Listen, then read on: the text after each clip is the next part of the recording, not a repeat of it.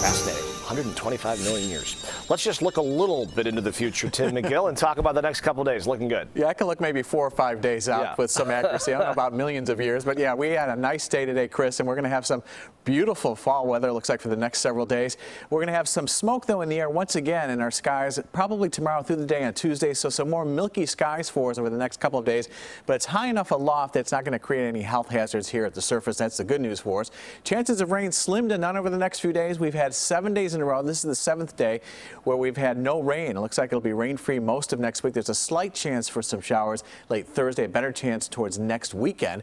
And above average all next week, it looks like. High temperatures normally top out in the low 70s. That's about where we were today, but we're going to be warmer than that, looks like, for the next several days. 73 was the high today at O'Hare, 73 at Midway. Was a little bit cooler in Waukegan, 67, 72 in Aurora after starting off in the 30s in this morning. And now temperatures have dropped in the 60s, 50s, and even a few 40s out there. 53 degrees in Aurora, 62 degrees at O'Hare, 63 degrees in Midway, the cool spot. Gary checking in at 47 degrees. These temperatures anywhere from around 5 to 17 degrees warm in the case of Waukegan compared to this time yesterday. So the winds are out of the east southeast, kind of light, and those winds will be shifting a little bit over the next couple of days as we get on the backside of high pressure more and more to the south. So that's why we're going to warm things up. Just a few patches of some high mid-level clouds drifting on through, but high pressure sitting over us. The air pretty much sinking and drying out, so it'll keep us nice and clear. It looks like for the most part tonight. There's a little front weakening here towards the Twin Cities up through northern Wisconsin. That's going to steer to the north, so we're not going to get any rain out of that. Keeping an eye on tropical storm Beta now. Maximum sustained winds around 60 miles per hour, slowly moving towards the west.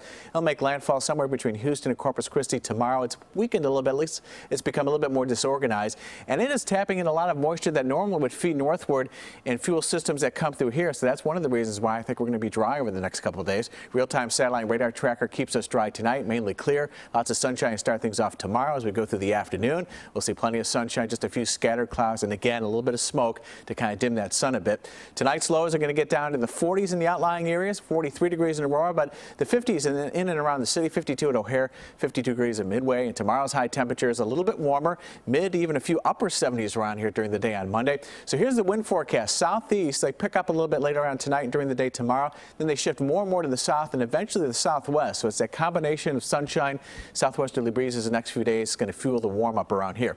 Your forecast for tonight, mainly clear down to around 52 degrees, but some 40s in some of the outlying areas with that light south-southeast breeze. Tomorrow, a little bit breezier, 75 degrees for the high for us, partly to mostly sunny skies for us tomorrow. And again, that milky appearance in the sun with that wildfire from the wildfire smoke from the storms out west. 75 tomorrow, 78 on Tuesday, near 80 degrees on Wednesday. A little cooler on Thursday, but notice the sun, sun symbols and lack of rainfall symbols and low 80s for highs on Saturday. Finally, some showers around here. Like Sunday, Chris, and that's when we drop back down into the 60s. Pretty terrific. Tim, thanks very much.